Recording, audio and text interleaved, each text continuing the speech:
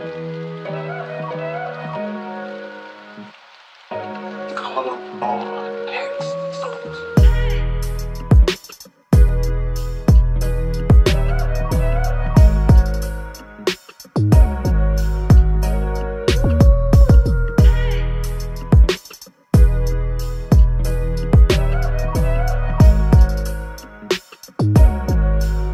welcome back. I'm Mike with the Turntable Teachers, and class is officially back in session. Hope everyone's doing well today. We got another episode of the Write Mind series, the Write Mind initiative that we just launched with Jay Faith, partnership there with him, among some other people as well. Uh, Beliefs, Michael Settle, now H3x, who you guys can see right here. We got a brand new series right here with mixing tips with H3x, and I am so excited to do this. This is going to be really awesome. Uh, you know, teach you guys or anybody out there that wants to you know know how to you know engineer or is is or is maybe learning to engineer and needs some extra tips. My man H3x here really really knows his stuff, and I, I really can't thank you enough for doing this. And I'm, I'm excited to have you you take me through some some mixing as well. I know nothing about it, so man, how you doing, man? Welcome to the show officially. Good. Thank you so much for having me. Thank oh you. no, thank you for doing this. Seriously. Uh, you know, so you how long have you been engineering exactly? Um, a little over a year. I'd say like a year and like two months, if I had to guess. I started I started engineering for myself after my um I used to go to a studio and then uh, that engineer ended up um, moving I see. So I was like, oh, I didn't have a studio to go to. I was like, I guess I have to kind of teach myself now. And I dove right into it, like YouTube tutorials till 2 a.m. every morning. so, you know, was, this will be the new YouTube tutorial, right? for every, for anybody that wants any mixing tips and stuff like that. So yeah, again, I'm super excited to do this. And uh, yeah, so we're today we're gonna work on uh, EQing a vocal is uh, going to be today's today's le- a little mini lesson, and uh, H3x is going to take us through that. And uh, yeah, H3x, whenever you're whenever you're ready to go, man, we'll uh, we'll, we'll take through EQing a vocal. Cool. So, all right. So this song uh, is one of my own songs, which uh, Mike here is very very big fan of. Uh, called just, just so everybody knows, it's yeah. this this song is my favorite of H3x's to this point. All right, fade away. It is incredible. been on our. It's, it's, I think it oh, is it still on our playlist. I don't know if it's still on the playlist. It was. It's, it's been on the playlist for quite a while though for the night school new new music. But yeah, but you know you know how it is. Uh, oh yeah, but I'm glad, you this I'll one to, uh, to, be the yeah. one. I'll play a little. Uh, I'll play a little preview right now. So passionate, but is it worth it? All these thoughts in my mind, and I don't think I'll see the 30. These visions blurry. It's 2020, but I can't see who hurts me. The mirror curtsies. Can't fade away. Wanna smile, but I can't feel my face. Every day that I wake, I'm okay. But in the end, I be lost in a daze.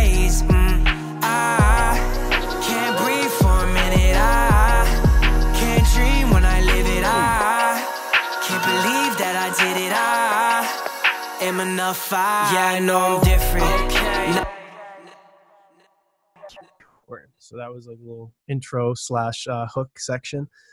Um, but yeah, so as far as EQing uh, a vocal, I might actually show you um, EQing the beat too, because I actually, if you can hear the, it's very telephony uh, at the beginning, the beat and everything. So that that's from EQ too. Um, but to start, we'll start with the vocal. So if you could see my stuff over here on the left side of the screen, I have a lot going on. There's a lot of plugins on this side. Um, so all of these, um, assuming you know what a plugin is, but a, a, little uh, brief definition would be like pretty much like a third party uh, little piece of software that it's like a tool that you can use to affect the audio. So um, here is an EQ that I have. Um, I'll solo the vocal, then we can start. I'll put a loop here. Can't fade away. Wanna smile, but I shut off the effects too. Can't fade away. Wanna smile, but I can't feel my. Cool. So this EQ, um, if I shut all of these other effects off that I have running, can't fade away. Wanna smile, but I can't feel my face. That's with it. So it's very raw sounding, as you can probably tell. Um, and to start, uh, this was the first thing I added, and I started cutting out things that sounded um, because I'm in my bedroom, as you can see behind me. Um, there's a lot of room noise, like like when you're in a bathroom, you can hear the echo of the bathroom, things like that. So I try to use an EQ to cut those things out. So with an EQ, um, you can pick up a band and sweep it around, and you'll hear um, the difference. So I'll, I'll I'll show you right now. Can't fade away. Wanna smile, but I can't feel my face. Every day that I wake, I'm okay. But in the end, I'll be can't fade away. Wanna smile, but I can't feel my face. So right here was the area that I didn't like. Um, it was actually a little lower than that. So it sounds very hollow. Um, sounds like you can hear the room. Can't fade away. Wanna smile, but I can't has a big ring to it. So I actually took that and I cut it out. So I did like a, a little bit of a cut. So uh, one and a half ish dB, and dB is a measurement of um of gain or volume. It Would be decibel, Uh, correct? Is that what Decibel, yeah. Decibels, yeah. So everything's in dB. So um, I I swept till I found that this sounded like Garbo, and then I cut out like about a dB and a half there. Um, then same thing with these areas right here. If I play, Can't fade away. Wanna smile, but I can't feel my face. that has a ring, uh, a bad ring that I didn't like starting out, um, that I wanted to clean up. So um, I scooped it out, and as you can see, there's a little extra um, bump underneath here. That's because this specific EQ has like a cool feature to it where um, as that part gets lou- uh, louder than usual, like on its like loudest side, um, it will lower it even more automatically to kind of level it out automatically. It's called dynamic EQ. So it's like instead of just pulling it down a certain amount that you want it to pull, it does that and then it continues uh, to pull down when it when that area gets even louder. So that's what I did there. Um, and then same thing with these areas. Can't fade Oh.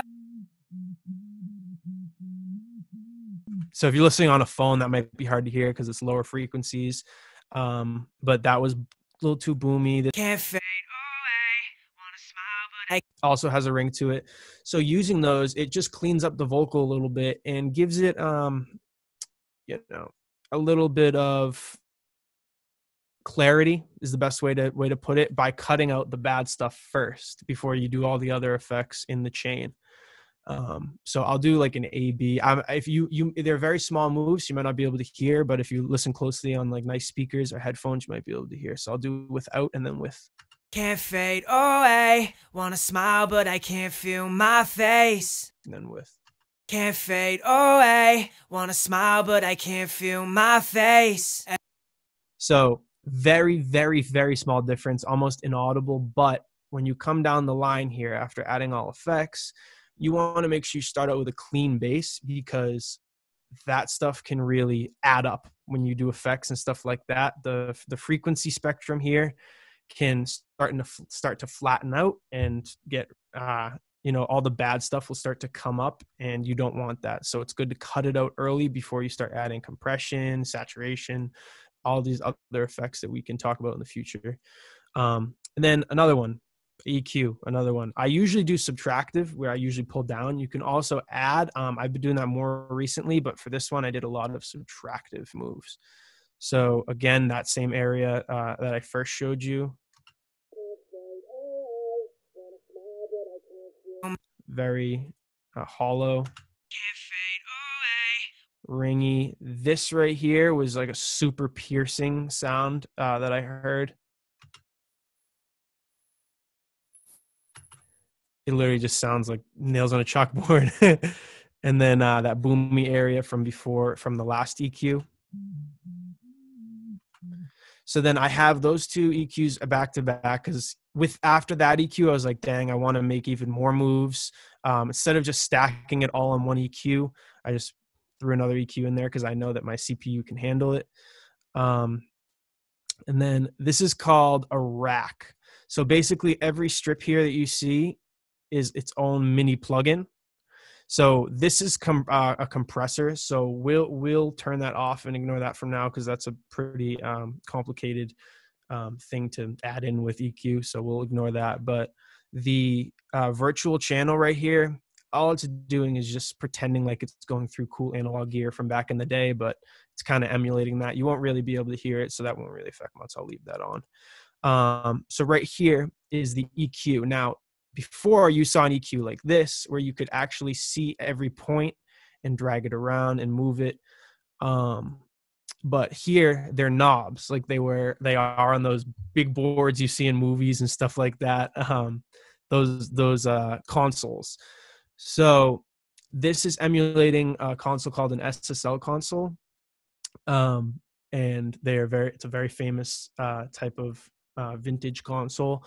Um, but I like this one because you can affect um, the actual width of the EQ. So, for example, if I added a band here, you can affect the width with this knob and how many frequencies surrounding it you're actually affecting. So that's what um, that's what it's doing right here. And then this is just the volume. As you can see, it says dB right there. And then right here is the actual frequency that you're choosing. So for this, I usually will I'll do this so I can keep my original settings. Um, I will usually boost this super high and then sweep around for the frequency that I want to take out and then go from there. So I'll put these at their original volumes so that you're only hearing that. Oh, and then this down here is a filter. So I have it up to like 95. Um, yeah, 95. So pretty much see this right here. This is basically cutting out everything below that point. So that's doing the same thing. It's cutting out everything below 97 hertz. Um, as far as frequency. So I'll play and then I'll do the sweeping that I did for this one. Can't fade away. Wanna smile, but I can't feel my face. Every day that I wake, I'm okay. But in the end, I be can't fade away. Wanna smile, but I can't feel my face. So I took out some of that ringing hear um, that frequency. Can't fade away. Wanna smile, but I can't feel my face. Every day that I wake, I'm okay. But in the end, you hear it kind of the hollowness comes out more. Um, then this is a shelf. So I'll pull it up on this EQ. A shelf is low shelf. Mm this right here. So basically, it affects everything below. Instead of a filter, it's cutting automatically cutting everything below for a low filter, or high filter is cutting everything above. Um, a, a low shelf pretty much just lowers everything below, lowers or raises in gain. So I'm doing that here with this knob. Um, can't fade away. Wanna smile, but I can't feel. As you can see, I boosted it so all the bass comes out, but then I ended up lowering it by 8 dB a lot because when you do a lot of, like I said, a lot of effects, the frequency spectrum ends up smoothing out more as you add more stuff. So I try to take a lot of the low end out at the beginning so that by the end it starts to come back in a healthy way instead of completely overloading. Can't fade away. Wanna smile, but I can't feel my face. Every day that I wake, I'm okay. But in the end, I. So that's that. So then you hear. Can't fade away. It's kind of thin. It's not exactly as full as it sounded in the end, and that's through. I'll turn on all the com- the compression here. There's a lot of compression here. Can't fade away. Wanna smile, but I can't feel my face. That's after all the compression. So uh, again, I'm not going over compression right now, but that just goes to show that it's okay to make your vocals thinner at the beginning because compression usually smooths things out as far as the frequency spectrum.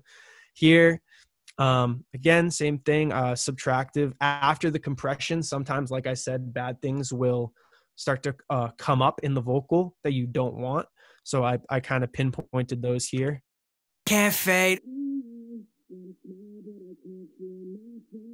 Every day that I wake up, put in the body must face. Oh, I wanna wake up.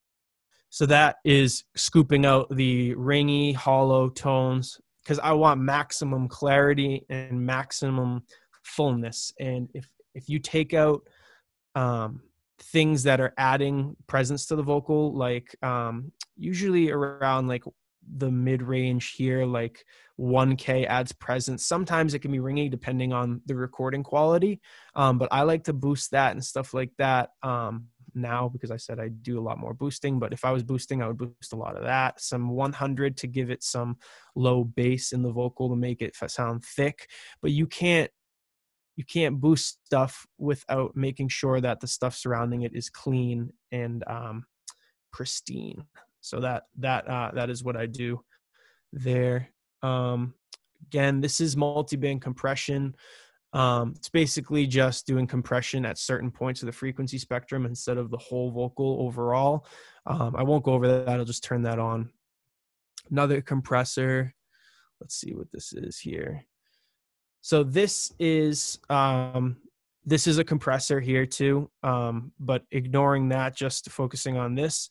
I this is where I did additive EQ. So basically, it's the same sort of thing. This is the frequency that you're choosing, and then this is the um, dB. This one doesn't have the um, doesn't have the Q knob, which is the the, the bandwidth. Um, so it has its own built-in, which is what is kind of cool about the tools. It forces you to t- choose the right tools for the job instead of having one tool that solves all the problems. That's why I like these things um, they each have their own characteristics. But um, here on this one, if I copy it over, I did this. So around 500 hertz, which is usually like that hollow area, uh, 400, 500. Can't fade away. Wanna smile, but I can't feel my face every day that I wait. So if I boost it super loud, clearly it sounds like ass. But the the uh, if you boost it like a little bit, near the end after doing a lot of your cutting and cleaning up if it already sounds clean but you want to add more body to it that's a good way around 500 i'd say 300 to 500 at the end um, near the end if you're trying to add more body 300 to 500 hertz is a great place to boost like a like a dB and a half, very small move.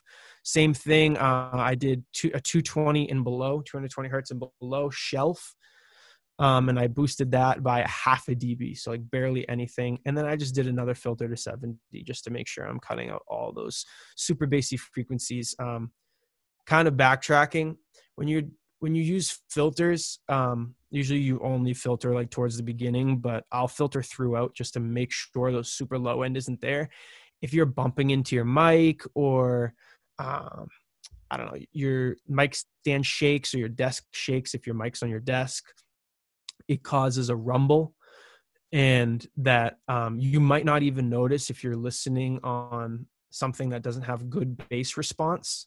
Um, so you need like a sub-ish type speaker that has like subwoofer and stuff in it to actually pick up that low end that exists.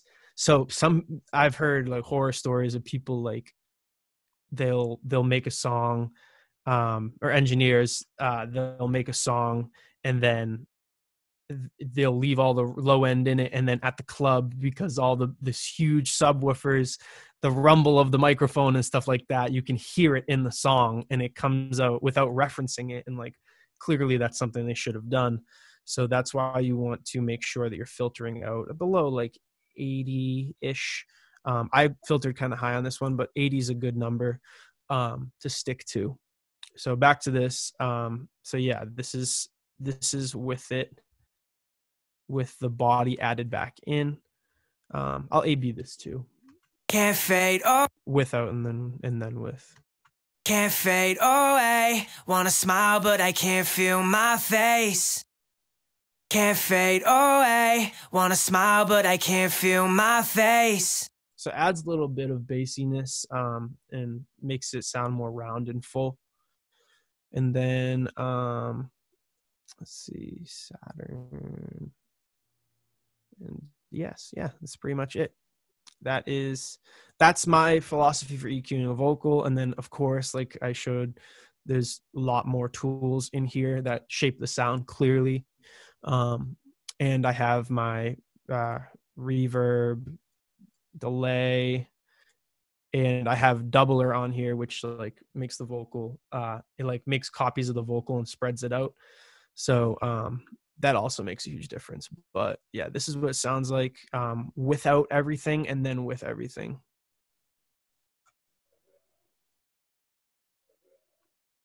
Can't fade away. Wanna smile, but I can't feel my face. Every day that I wake, I'm okay. But in the end, I be And then here's with. Can't fade away. Wanna smile, but I can't feel my face. Every day that I wake, I'm okay. But in the So yeah, EQ um, is EQ, and compression are equal. I was gonna say EQ is more important, but I don't know. Compression is pretty important, but still, EQ is pretty much what um, is what shapes the actual tone of your vocal. And if your tone isn't matching the tone of the beat, it can sound really off, really unprofessional. Um, speaking of the beat, I will show you what I did on this. So this um this EQ has a phone preset. So um usually this filter is cut off about here, but I just pushed it out so it got a little bit more high frequency in it. Um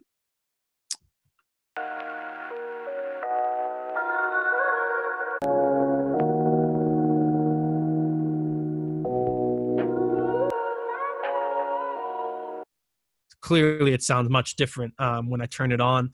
It's just filtering, and then I took those ringy frequencies. Uh, well, I didn't take it. The preset has the ringing frequencies like that.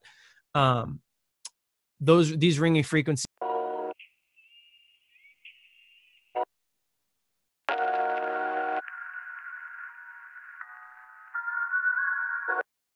Telephones usually have really ringy um, sound sounds to them in the mid range here in the middle of the frequency spectrum. So this preset boosts those so, uh, a, bunch so that it has that effect. So it's like low quality. So the the point of me doing that was in a creative sense. So i wanted to have the quality even of my vocal too. I have a little vocal squeeze here. Um, if i can turn it on here. So passionate, but is it worth it? All these thoughts in my mind, and I don't think I'll see the third. I have the same thing. Uh, I took those ringy frequencies though. I had them boosted, but then again, like the feature I told you before, the dynamic EQ feature, um, when they got a little bit too ringy, I had them lower and duck down. Um, but I filtered it out so it was like that telephone feel. If you filter out both sides and squeeze that, um, So passionate, but is it? this is without it. But is it worth it? All these thoughts in my mind, and I don't think I'll see the 30. so the the effect I was going for was I wanted to have it like kind of like suck into like a normal voice from there along with the normal beat. So I have the beat cut out right here. I did a little chop there and then I did a reverse reverb which is like a cool like uh, effect technique um that I again can talk about in another segment. Um but yeah, let me uh 30. These visions blurry. It's 2020, but I can't see who hurts me. The mirror curtsies. Can't fade away. Wanna smile, but I can't. so these these vocals right here this is the low vocal the devil-ish vocal and then this is the regular one this one right here as you can see it doesn't have uh, that effect on it so it's not telephony and it's just normal how it would normally go through the chain that i have set up so it's just going through uh, everything as it should so yeah that. that's Only like sound, you're you're you're really you're pushing it then this way, like you're making it thinner, essentially, right? Or yeah basically i'm purposefully making it sound bad like with by like taking those ringy frequencies that i normally like in the normal chain so basically how the routing works is these tracks are in are in a, a folder okay, so each one of these is in a folder and then they route to this this folder which I can put effects on that affect all of these simultaneously. So it's taking all the audio from these four tracks and then putting and then uh, it's running through these pl- all the all the audio of these four tracks combined is running through these plugins. Plugins. Yep. Yeah. So that that way I don't have to call the reason why I do of doing this like instead of taking an EQ and copying the same exact EQ and then copying and pasting it on every vocal track. I can do things like this where I can like have my vocals chopped up and moved around and stuff like that, but still have it running through the same processing. Gotcha. So it, it kind of saves my CPU, uh, so I'm not running a bunch of plugins at the same time. Can, even though I, I am, but you know it's less than it would have been. Right. Um, right. But yeah, like you said, um, like you pointed out, I'm basically taking all the shininess of the high end and the fullness of the low end and just leaving the pre- mid-range is a lot of presence. Like that's what we hear the most as the human ear. Um but when you have it just soloed like that it just sounds like a telephone and like ringy and like bad. Coupled with the high and low end though um, mid-range can be good because um, it, it it's what actually like makes the vocal cut through the song but uh, yeah, I was filtering out the highs uh, to take away any sort of clarity that was there, uh, filtering out the lows, taking out all of the body, and just leaving it with that ringy mid range. And then it sounds amazing. My vocals, even if I mix them mediocre-ish, like as the main vocal, it would still sound sick compared to the crappy uh, EQ'd out telephone sound because, and that was the effect that like I wanted when my vocals came in. I wanted them to be like very clear compared to the intro. And um, that's how I achieved that by even filtering out the beat too, so that it had like a super filtered effect, and then it came in and just filled everything up as the, uh, hook dropped in. So yeah, that's basically it. Um, just subtractive stuff, uh, additive towards the end after you do like the basic cleanup and compression and things like that. I usually add towards the end so that it's like I'm adding good stuff instead of adding like the bad source material that I haven't taken out yet. Focus on doing like uh, the cleanup first so that you're only working with like a clean signal. So yeah, that's that's pretty much my philosophy on EQing vocals. And that was mixing tips with H3x, our very first episode on that. We did EQing vocals and beats today and you even kind of gave me at least a visual of what that kind of looks like. I've always just being somebody that doesn't know how to do any of this at all. Uh, it, it is a little gibberish for me, but hopefully, people that understand how to actually craft a song or at least have the wherewithal of of engineering and producing that they'll be able to take what you uh, what you envisioned today or what, what you gave us today and, hopefully apply it. It's really the, the big goal here is is is with this is, is hopefully you guys can get some of these application uh, tips and, and really use them to your own advantage. And and so again, I want to thank H3x for being here and, and taking us through this. This is obviously not the only time he's going to come here. He's going to be doing uh, a series with us through the Write Mind segments of our podcast. So basically, take a make sure you uh, look out for more mixing tips with H3x, and you're going to definitely hear him uh, for fans of the show. You're going to definitely hear a guest speaker episode with H3x coming very, very soon. So make sure you stay tuned for that as well. We also have a Making Beats with B Leafs mini series coming out as well. So anybody that wants to just get into production in general, you're gonna learn how to make beats and mixing. I'm honestly gonna like take what you guys are saying and maybe try to teach myself. So that'll be the that'll be honestly the testament of how good this is if I can do it, or at least know how to do it at some point. So that'll be that'll be the I'll be the barometer since I'm not very musically inclined. So That's I got the ear, but not the talent. If you can feel me. hey, everybody starts somewhere. So amen to that. Amen to that. So real quick, just because I'm just curious, what, what for you? What was like? Been, What's been one of the most challenging things, or like what most challenging uh, parts of engineering, like for you, like in terms of uh, your, um, you know, how how you've learned over the um, I think it's coming to the realization that like you have to like do it in order to get good. Like you have to like that's the thing like I'm lucky cuz I'm an artist, but let's just say someone watching this at home is just just wants to be an engineer and is it doesn't actually uh, write or record music it's it's harder because you actually need some some source material to mix so um it's it's tougher because you don't have examples but i'm lucky. So that's why i got so much experience very quickly because i was constantly making songs. Every time i made a song it was just another piece of practice for me. Uh, the hardest thing was you know realizing that it takes time and getting impatient because no matter what people tell you on YouTube and stuff like that, like I'm I do YouTube tutorials and I'm even saying this that like you should watch YouTube tutorials, but everything you watch, you should also know that that is a suggestion and not a rule. It's all just based off of your um, mental reference of what sounds good and what you hear on the radio and things like that. Like always just try to climb closer and closer to these uh, A-list Grammy-winning engineers that you hear instead of just being a robot and thinking, okay, this person cut one dB at this frequency, I have to do the exact same move. It's it's just not it's just not how it works. It's just it's an artistic thing. You can go any way with it and many different ways with it. So yeah. Yeah, it seems it's not like there's like a perfect science to this. Like everybody no, just, do it the wrong way. Like these plugins on on on this session, like if you if I pulled up the I just did a mix for someone today. If I pull up that session, not only is my chain shorter because I've started mixing like more minimally, but it just everything is different. Like literally from a couple months ago, even even day to day, right? It's a different song with a different sonic thumbprint on it.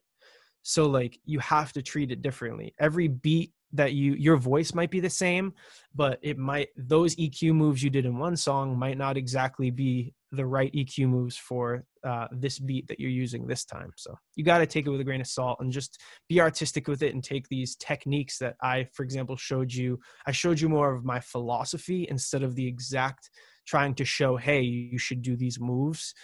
I was just showing you more of a philosophy so that people can like yeah, so just so that way they can apply it themselves, essentially, right? You oh, that, yeah, yeah. If if you try to copy someone else, you're not.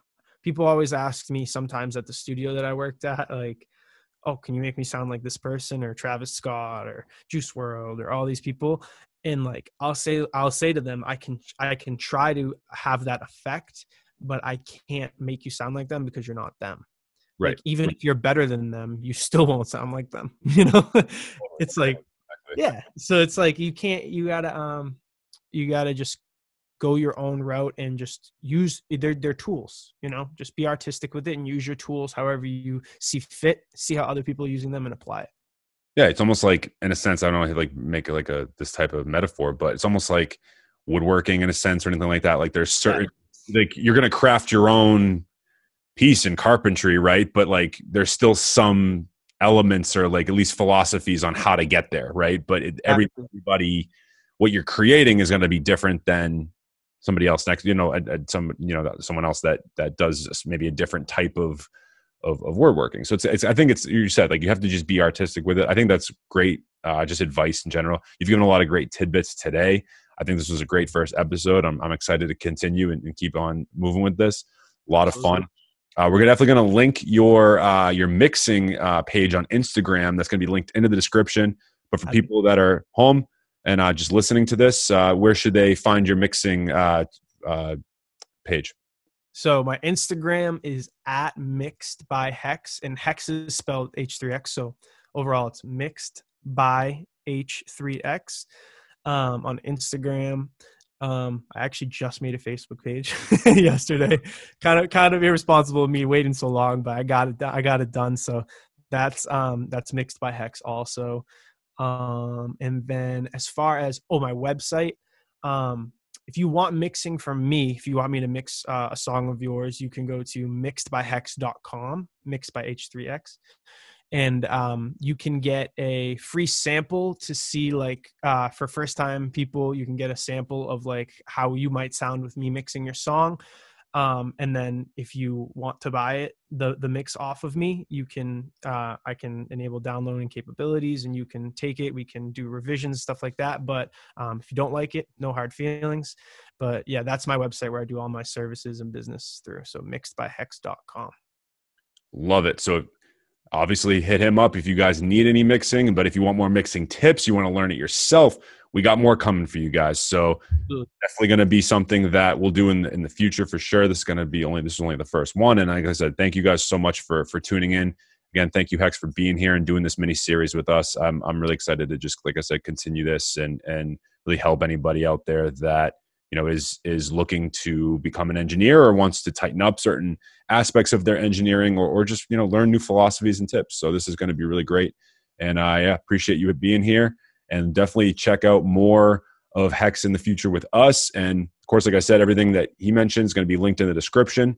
All right so make sure you guys go check out those links. Check out his music too. The music is damn good. I know you guys were hearing that same little fadeaway loop right? That's probably stuck in your head now. So go check out the song in full. You'll definitely see uh, maybe see see where he went with this. So I uh, appreciate your time, H3x.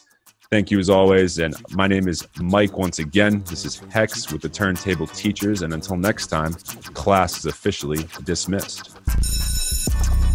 Turn, turn, turn,